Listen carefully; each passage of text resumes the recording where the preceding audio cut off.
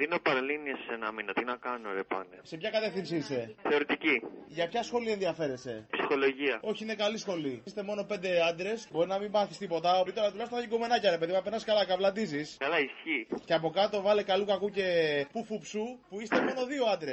Θα βάλω και μου μου ε. Φοιτητικά χρόνια, φίλε, τα καλύτερα 14 χρόνια της ζωής μου.